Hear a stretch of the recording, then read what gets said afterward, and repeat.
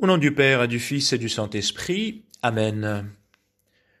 Chers amis, en ces moments de, partage sur ces points de formation catholique, qui est toujours euh, important pour nous tous euh, de nous former, de, nous former continuellement dans, dans, notre foi, dans cette foi que nous avons reçue le jour du baptême, une foi qui doit euh, toujours se nourrir et qui doit grandir dans notre vie.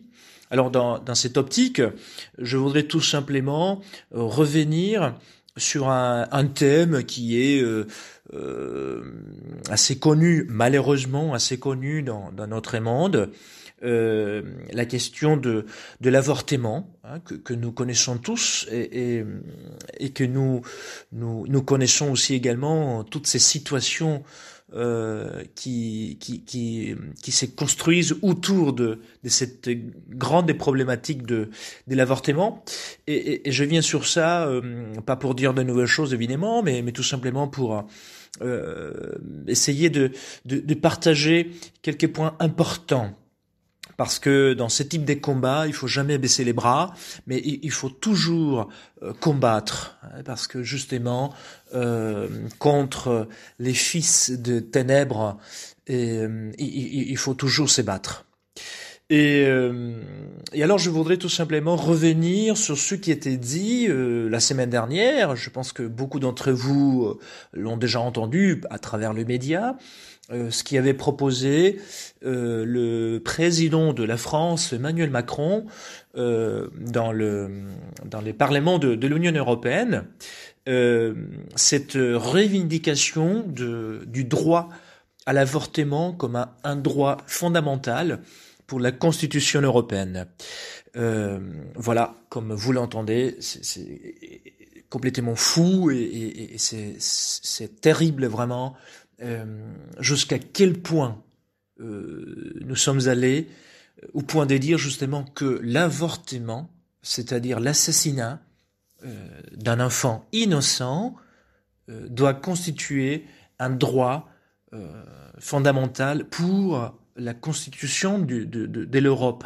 Donc c'est complètement affreux.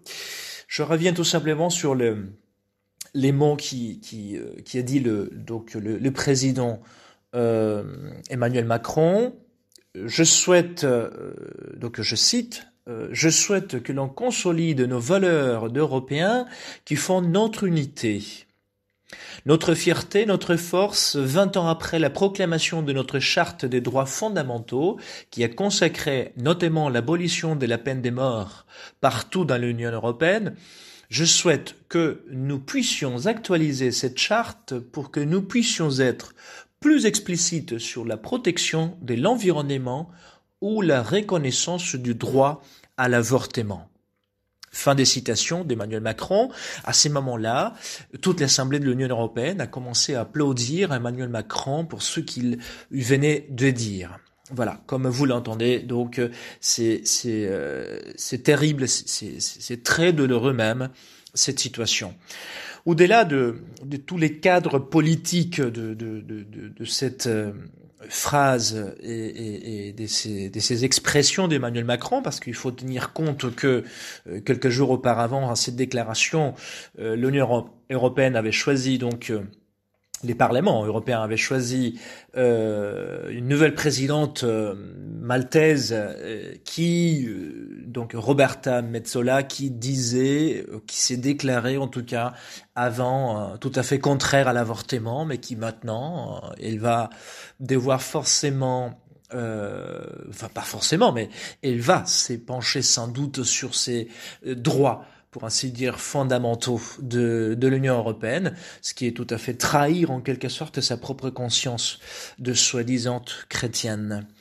Quoi qu'il en soit, donc, au-delà de cette question euh, politique où je ne rentre pas, et euh, je, je, reviens sur le fait de, de, ce qui a été proposé en tant que tel, proposé comme droit fondamental de on peut dire, de la dignité humaine, enfin en tout cas droit fondamental pour l'Union européenne, euh, proposer l'avortement. Quelque chose qui est tout à fait contraire c'est comme si nous voulions proposer comme un droit fondamental euh, l'assassinat les uns contre les autres librement. Ce sont des choses qui sont complètement euh, terribles et donc ça, détruit véritablement et la dignité humaine et, la relation euh, des uns, les uns et les autres. Et alors je voudrais tout simplement euh, revenir sur euh, sur un texte qui qui avait été proposé par le pape euh, François. Bon, nous connaissons parfaitement bien toute la doctrine de l'Église sur la question de l'avortement. Je ne reviens pas là-dessus. nous pouvons parfaitement le le trouver sur la doctrine, surtout notamment le pape Jean-Paul II qui a qui a écrit euh, plusieurs encycliques là-dessus, notamment l'encyclique euh, Evangelium Vitae où il proclame ex cathedra, c'est-à-dire avec le pouvoir de souverain pontife, de successeur des pierres, et, euh, et contre toute euh, position contraire, il proclame que donc l'avortement sera toujours euh, un péché gravissimus, donc un péché grave qui mérite l'excommunication et, qui le sera toujours dans n'importe quelle condition parce qu'il s'agit justement de l'assassinat d'un enfant, d'une personne qui est innocente. Euh, donc, je laisse des côtés alors ces, ces enseignements qui sont clairs et évidents. Euh, je reviens tout simplement sur un, texte euh, proposé par euh, le pape François qui a été proposé lors du, du jubilé de la miséricorde et qui était très intéressant. Et euh, c'est juste pour le, pour le partager avec vous encore un extrait de, de, de, de cette lettre que le pape François avait envoyée à, à l'organisateur du jubilé de la miséricorde. Et euh, donc je, je, le partage avec vous avec quelques petites considérations tout simplement afin de, de pouvoir toujours réactualiser en nous euh, l'importance de, de lutter contre ces fléaux qui, qui détruit notre société finalement, qui est justement l'avortement. Donc je cite alors le texte du pape François. L'un des graves problèmes de notre temps est sans aucun doute le changement du rapport à la vie. Une mentalité très répandue a désormais fait perdre la sensibilité personnelle et sociale adéquate à l'égard de l'accueil d'une nouvelle vie. Les drames de l'avortement est vécu par certains avec une conscience superficielle qui semble ne pas se rendre compte du mal très grave qu'un tel acte comporte. Ce qui est lu est profondément injuste, continue le pape François, en parlant justement de femmes qui ont commis l'avortement. Pourtant, Seule sa compréhension dans sa vérité peut permettre de ne pas perdre l'espérance. Le pardon des dieux à quiconque s'est repenti ne peut être nié, en particulier lorsqu'avec un cœur sincère, cette personne s'approche du sacrement de la confession obtenir le pardon des dieux. Et le pape François termine en disant que le prêtre se prépare à cette tâche importante en sachant unir des paroles d'authentique accueil à une réflexion qui aide à comprendre le péché commis et indiquer un itinéraire des conversions authentiques pour obtenir véritablement le pardon de Dieu qui renouvelle la grâce en nous. Fin de citation du pape François. Donc, euh, euh, voilà. Alors, ce texte qui qui parle justement, qui est adressé euh, aux prêtres notamment pour pour le pardon du péché de l'avortement, mais il dit alors de, quelques vérités qui sont qui sont très fortes, très importantes de, de retenir et de ne pas perdre de vue justement à l'heure où nous nous devons encore combattre cette, cette idéologie de, de l'avortement. Et, euh, et, alors justement, il est, il est dit l'un des graves problèmes de notre temps. Donc l'avortement, c'est un des graves problèmes de notre temps parce qu'il touche la vie humaine, notamment ce qui veut dire les commencements de la vie humaine. Une mentalité très répandue a désormais fait perdre la sensibilité personnelle et sociale adéquate à l'égard de l'accueil de la vie nouvelle. Le drame de l'avortement est vécu par certains avec une conscience superficielle. Voilà. Donc on, prend toute la problématique de l'avortement avec une conscience très superficielle qui semble ne pas se rendre compte du mal très grave qu'est un acte comporte. Et c'est pour cela que l'avortement, il est justement euh, pénalisé, on, va dire, par l'excommunication, parce que c'est un péché qui est qui très grave, mais en plus pas seulement un, un péché grave, mais un acte d'injustice injustice sociale très grave. Et en fait, euh, ce qui est très étonnant, on s'inquiète énormément aujourd'hui pour euh, toute la problématique de l'immigration, de la pauvreté, de, de la guerre, et on les considère comme des actes d'injustice. Très bien, mais l'avortement, c'est le, premier acte d'injustice envers l'être humain. Parce qu'on s'attaque à un enfant qui est complètement euh, innocent et qui ne peut pas se défendre.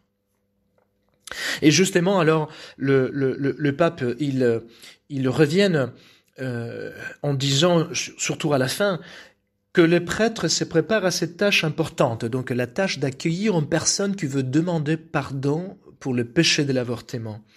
Mais alors il dit, le pape François dit, donc les prêtres doivent unir deux choses.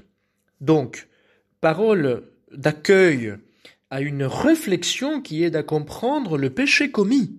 Donc ce n'est pas seulement euh, un accueil, euh, sans doute c'est un accueil miséricordieux, généreux et, et, très charitable, mais qui aide à comprendre le péché qui était commis. Et puis, indiquer un itinéraire des conversions authentiques. Donc, euh, l'avortement implique justement euh, c'est deux choses. D'abord, la conscience d'un péché commis très grave contre la nature humaine, contre la vie humaine, et puis en plus toute la question de la conversion, c'est-à-dire euh, comment continuer la propre vie après un tel acte qui ne sera euh, jamais, qui ne pourra jamais être de la même façon. Enfin, on pourra jamais vivre de, de, la même façon avant et après avoir commis un acte d'avortement, donc euh, un assassinat. Voilà, c'est quelques réflexions qui me semblent toujours importantes, juste pour revenir enfin sur ce fait de, de ce qui était euh, on, peut dire euh, ce que ces gens, notamment le président Macron, a voulu euh, promouvoir à la tête du Parlement européen, justement, que l'avortement ce soit un droit fondamental.